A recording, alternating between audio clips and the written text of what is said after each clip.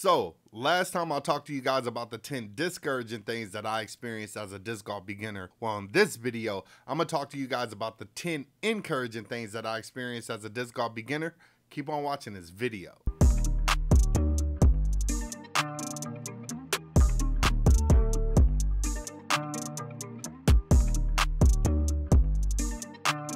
What's up everybody, Chris Lee back with another Just Throw It Disc Golf video. Hey, check this out. If you're new to this channel, be sure to hit that subscribe button as well as the notification bell to get more videos like this in the future. All right, so what's up guys? Chris Lee back with another video. What I'm gonna be talking to you guys about in this video is pretty much the 10 encouraging things that I've experienced as a disc golf beginner being three months in, okay? So check this out. If you haven't had a chance to go check out my other video, I already did 10 discouraging things that I've experienced as a disc golf beginner. So be sure to go check that video out first. It may be some helpful information in there for you guys. So go ahead and go check that out. Right now, we're gonna go ahead and jump into number one. Let's go ahead and get into it.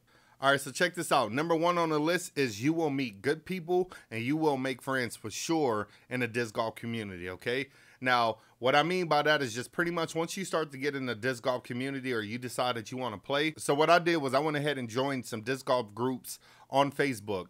Uh, one of them was the Arizona Disc Golf Group, and the other one was the Superstition Disc Golf Group. Okay, these are two really good groups in Arizona that I joined on Facebook what I did was I pretty much made random posts and said, hey, I'm new to disc golf. Uh, I'm gonna be throwing at this course. If anybody want to come out and join me, or you know, come show me some things, or you know, maybe get around in together, I would really appreciate it. And pretty much once I started posting that, when I first did that, it started with one or two people, and then more and more people started to come. So after I threw with the first person, or maybe uh, the first one or two people, I started to get more competent. I started to uh, I basically introduced myself. They introduced themselves to me. We got around in. I asked them some questions. Uh, we got to know each other, and then it just kind of became a habit after that. So uh, I would advise you to go ahead and basically join some of these groups and try to make friends with some of these people because believe it or not, a lot of these people are really good people. I have found some really solid people uh, in the disc golf community that I've had over the past decade or so.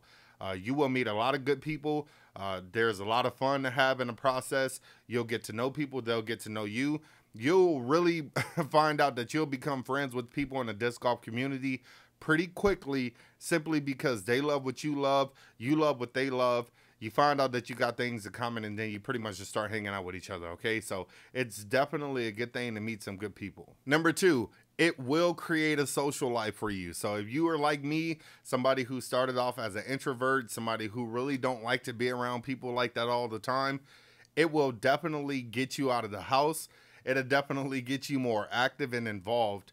I didn't really like to associate with a lot of people in general just because I'm a solo guy. Like I've always been rocking that way. I've never been uh, the type to follow crowds. I've never been a follower. I've always been like a leader, a solo guy, a guy that likes to stay indoors, keep to himself, stay busy indoors, do everything alone. So disc golf has really kind of opened up my relationships with people. It's opened up my social life with people. I now talk and associate with a lot more people. Uh, I go out and I look forward to having fun with the guys out there or the gals uh, out there at the disc golf community courses putting on some tunes, telling them to drink, you know, bring their cold ones because I don't drink or anything, but I tell them to bring their cold ones. I tell them to bring their tunes and I tell them to bring their good vibes, okay? Positive vibes only. I pretty much love to just hang out with the guys, the gals out in the disc golf community and throw, have some good rounds, have a good time listening to music, some good laughs, and it really turns out to be a positive thing for my mental as well as my spiritual space. So it's something that I will highly recommend that you guys get involved with. But not only that, it's definitely something that you're going to experience if you get out there and start finding the good people inside of the disc golf community. It's going to bring out a social life in you. So get used to it. Number three, believe it or not, you will lose weight. And when I say you will lose weight, if you're just as active as I am or that I've been inside of this whole disc golf community thing, for somebody like me, I have been active at least two times a day. But what I normally do is I get up first thing in the morning, 5.30 in the morning, and I go play around the disc golf at 6 o'clock in the morning on an empty stomach. Uh, just take my water with me. You know, I may have some energy bars, maybe a protein bar or something like that for after but I pretty much go go do a full 18. Sometimes I might even do two rounds in a row. Um, of 18 holes, and then I'll do another 18, which is 36 holes. And there's a lot of walking involved when you throw disc golf, okay? So you may be walking up and down some hills on some terrain, uh, walking a long distance, depend on the course. And trust me, guys, when you are carrying heavy backpacks or your backpacks with a lot of discs in it or two big 40 ounce water bottles and you know other equipment like i carry because i love to carry camera gear and all that other stuff it's almost like carrying like a weighted vest around while you're playing disc golf out in the Arizona heat, it'd be like a hundred and I don't know, it'd be like a hundred degrees first thing in the morning, believe it or not. Sometimes around eight o'clock in the morning, it's already like 90 degrees or something like that. Okay. So the later in the day that you play, like I do, sometimes I play at like one o'clock, it's already about 110, 115 degrees out there while I'm playing disc golf. Now you definitely want to stay hydrated because it is dangerous out here in Arizona. We basically have had excessive heat warnings. So you don't want to obviously you don't want to pass out while you're playing disc golf but for me as a bigger guy i sweat a lot. I tend to move around and be really active. Now that i got a cart even pulling my cart I, i'm still getting that workout in. I can still feel how my body is super sore after throwing uh, getting my warm-ups in throwing my rounds and then pulling my cart around or walking with my bag or whatever you're definitely going to lose some weight. If you make that your constant routine every single day to get out and basically go play disc golf in the morning on an empty stomach, trust me, you will burn calories, you will lose weight. And what I do after I'm done is I pretty much come home and have like a protein shake or some cottage cheese and some fruit or just something that's not going to put a lot of calories back into my body. It's just something high in protein and basically just have that's really low in calories. And I pretty much just seen progress of me losing weight in the process. All right, so number four for me is you pretty much will learn things a lot faster, okay? And when I say you'll learn a lot faster, I definitely mean that being a beginner, getting out and playing with guys that have experience, you're definitely going to learn things a lot faster in a process simply because you're playing with people who have experience you're out, you're asking questions, you're watching other people throw. Um, you know, you have people kind of correcting you or giving you some tips on what you can do better because it's not always about what you're doing necessarily wrong or right or whatever the case may be. A lot of people in the community I have found just offer a lot of tips that'll help you throw better, throw further, or, you know, try to get more arm speed or whatever the case may be. They give you some really helpful tips to help you understand how your display, which dish you should throw in headwinds or tailwinds. Um, they even give like a bunch of tips on how you should throw, whether that should be forehand or backhand, or whether you should, you know, hyzer around a tree or try to throw it flat or whatever the case may be. So I have learned a lot in the process just from playing with different people in the community. I'm never afraid to ask questions, and people help me understand. They always give me helpful tips, and it's honestly has made my game a lot better from when I first started three months ago. So I would definitely say it's something that you want to do. Get out, talk to people, find somebody to play with, and start asking questions. Tip number five is it can be very inexpensive and it can be fun. Now, don't get me wrong, buying disc can get expensive if you're constantly uh, getting addicted and constantly just going out and buying new discs all the time. There's a group of people that collect. There are a group of people that collect and throw. There are a group of people that just throw in general, okay? So the people who tend to collect, they will go out and just buy discs in general just because they want to have them on their wall or they have like racks, you know, of discs at home closet fools, trunk fools, and they love to collect discs, so they go out and spend the money on them. And there's nothing wrong with that. You know, some discs can range up all the way to like $35. Some, um, I, I, don't know if there's any more expensive than that, but $35, 30 15 12 $10, whatever the case may be. It's not that expensive, but if you are constantly spending money on this and you just have a bad spending habit of spending money, then yes, it can be expensive. But for the most part, it's definitely inexpensive. You can go out and buy a starter kit for like, I don't know, 20 bucks, 25 bucks or something like that and get like three, four discs in it. And that's pretty much all you need to get started. You can go ahead and just throw with that until you feel more comfortable. The next thing that you would need to do is start upgrading your individual disc. So you may want to go out and get a better putter, or you may want to go out and get a better distance driver, or a fairway, or mid range. The cheapest that you're going to pay for it is probably $10, $15, and the most expensive probably range around 20 to 30 bucks, whatever. And trust me, the money that you spend in disc golf uh, be well worth it just because, like I said, mentally spiritually, emotionally, physically, you're going to feel a lot better. You're going to be more active. It's a positive sport to get into. So investing in some money into, uh, you know, some disc or eh, gear or whatever to enjoy this sport is definitely going to be worth it. But, but for the most part, it's very inexpensive and you'll have a lot of fun playing disc golf. All right, guys. So number six, you'll pretty much get your hands on some cool gear. And when I say some cool gear, you'll be able to spend your money and go ahead and buy some nice fancy disc. You may get your PDGA membership and they may send you out uh, your first free disc, which will be pretty cool. Sometimes you'll join your first tournament and they'll have like discs that you're able to get for free in a process, which is really cool right when it's time to check in. I think that's a really cool experience. So if you like to go out and spend some money, you know, you're going to go out and you're going to buy some of your favorite looking discs, okay? This is a Forged Error uh, from Finish Line Drew Gibson disc. And this was actually given to me by a really cool 14 year old kid. I, I, don't know if you can see it, but it kind of has my logo on there. Uh, the just just a disc golf logo, okay? That was a really cool gift from that kid simply because he's 14. He's really good at disc golf. Shout out to Brandon Neff. He's really good at disc golf, but not only that, uh, this kid can compete in MA1, MA2, MA3, and pretty much win those categories or make top three. And he's only 14, okay? He's a really cool kid, got a nice positive attitude. Uh, even when he first met me, he was very helpful with uh, giving me disc or, you know, just giving me some tips. He was also very positive just about my overall performance as a beginner in disc golf. So I really did like that encouraging thing that he was kind of telling me in the process. It was really cool, okay? Also, in the process, you'll just go out and you'll have friends that are going to give you um, certain discs like this. Uh, shout out to James Fisher. He's a really good disc golfer uh, himself. He's kind of one of the first people that actually got me introduced and started uh, in this whole disc golf thing. So shout out to him.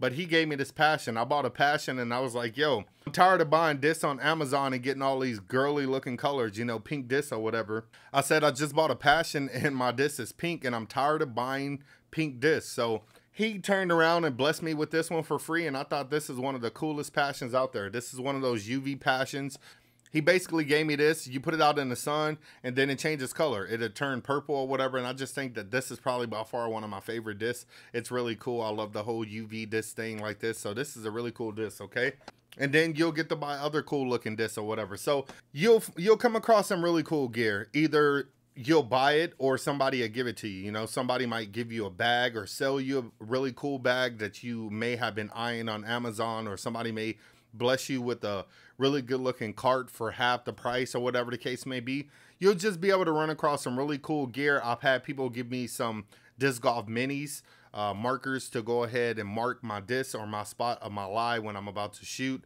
Uh, it's just really cool things that you're going to get in the process. And that's what I like about the disc golf community. Number seven, the disc golf community is very generous. And when I say generous, they will give you free gear. When you meet people in a community and they know that you're a beginner, they know that you're somebody who's just starting out. The really cool thing is, is they're going to give you discs, they're going to give you markers, they're going to give you just overall gear and equipment. Okay. Now I know this kind of goes hand in hand with the other one, but what I'm saying is that my main focus is that going out and buying disc or whatever is one thing. Just to be able to come into the community and have somebody bless you with like 10 discs out of nowhere, that's a really positive thing. That's a really cool thing. I play with a couple guys already. I play with a couple guys already that pretty much bless me with a bunch of discs. Now, yes, I was buying my own discs, but I was buying them brand new out of pocket and I was actually spending more money than what I needed to spend.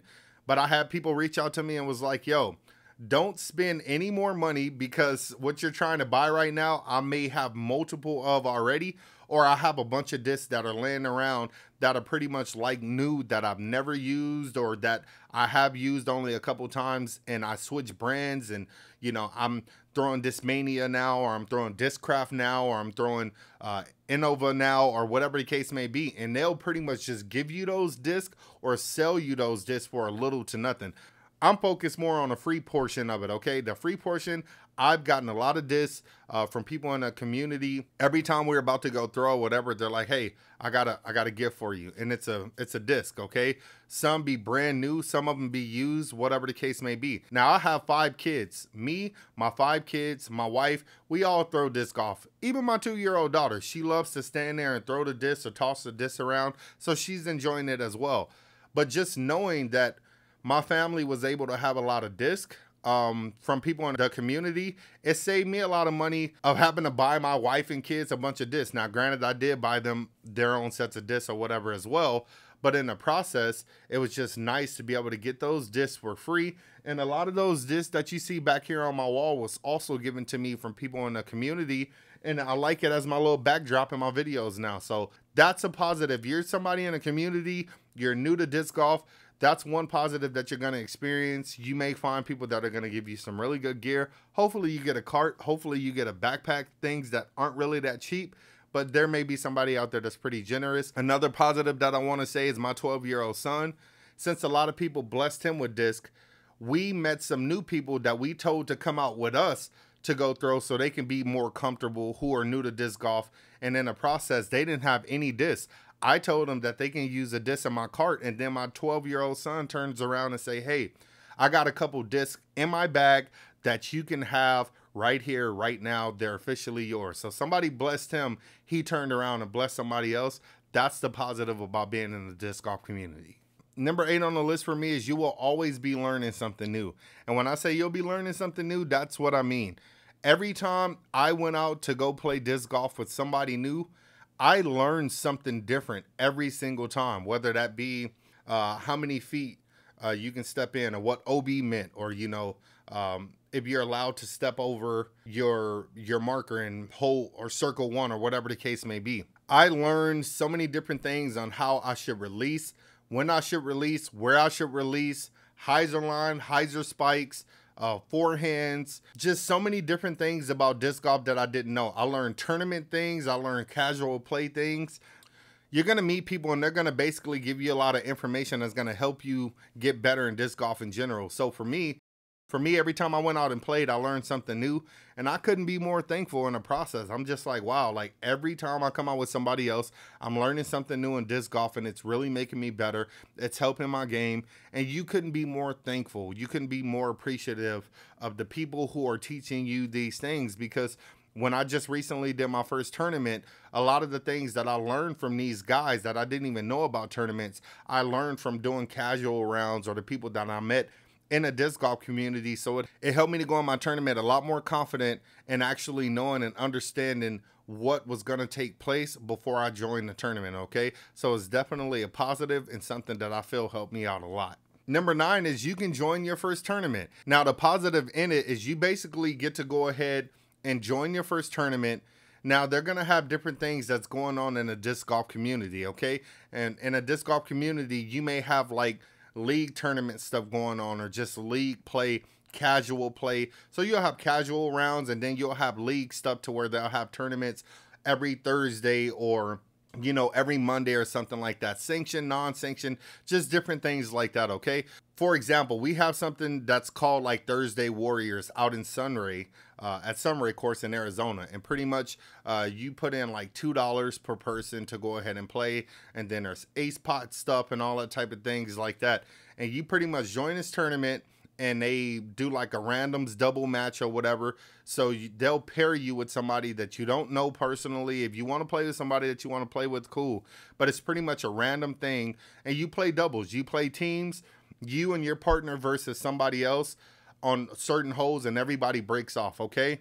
The positive about it in general is that you get to go ahead and compete and whoever has like the best score at the end pretty much takes all the money home or whatever, okay? And they may do CTPs or different different things like that, all right? So, uh, they may have an ace pot to where however much money is in the ace that everybody put in for the ace, if you hit that ace, then you basically get to take that money home. If more than one person hit that ace, then y'all basically just divide the money or split the money or whatever. I think that that's pretty cool. I think that's dope. It'll definitely get you prepared for tournaments and things like that. The positive is, like I said, you get to join your first tournament. So if you decide to sign up for a tournament, you pay your fee for your tournament, you'll be more confident and ready to go for that tournament by playing with other people in casual rounds or you know these little small league tournaments or whatever the case may be.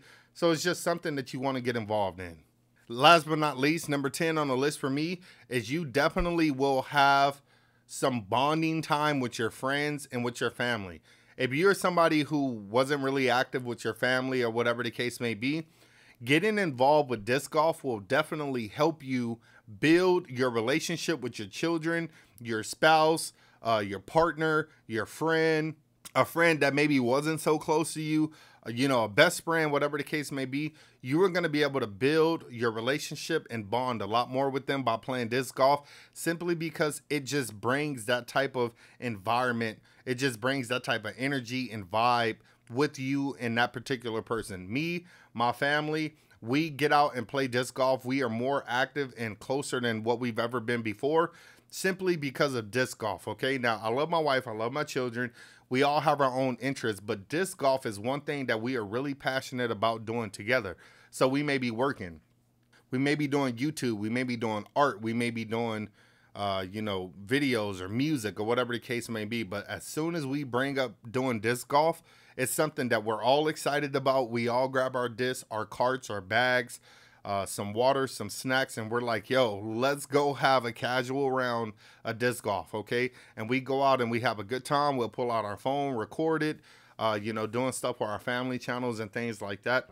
But my point is, is that it's really something that's really good to go ahead and help us build our relationship. It's just really good for family. It's just really good for friends. And it's something that's really going to help everybody bond. So I'm really hoping that you guys go ahead and jump into disc golf because it's definitely worth doing. Okay. All right, guys. So that's pretty much it for the video. If you enjoyed the video, go ahead and give me a thumbs up. Leave me some comments. Let me know what you think. What are some encouraging things that you experience while being a beginner in disc golf? Whether you're a beginner or you know somebody who's been playing for a while, I would love to know the backstory of what you personally felt was very encouraging for you to go ahead and continue to start playing disc golf. For me, that was just a list that was narrowed down into 10, but there are so many more other things that I could have added to the list, but I wanted to keep it short. With that being said, guys, I truly appreciate you guys watching my video. If you're new here, hit that subscribe button because I am really trying to grow this channel. I want more beginners to feel more confident uh, in playing the game and be getting involved and just going out and being a disc golfer in general. So if that's you, then go ahead and hit that subscribe button. Even if you are more experienced and you just want to know what it's like for me as a beginner to be on my disc golf journey, then go ahead and hit that subscribe button, hit that notification bell, share these videos with other people. And guys, as always, if you're new to disc golf, pick up a disc, don't stress, and just throw it. Caddy.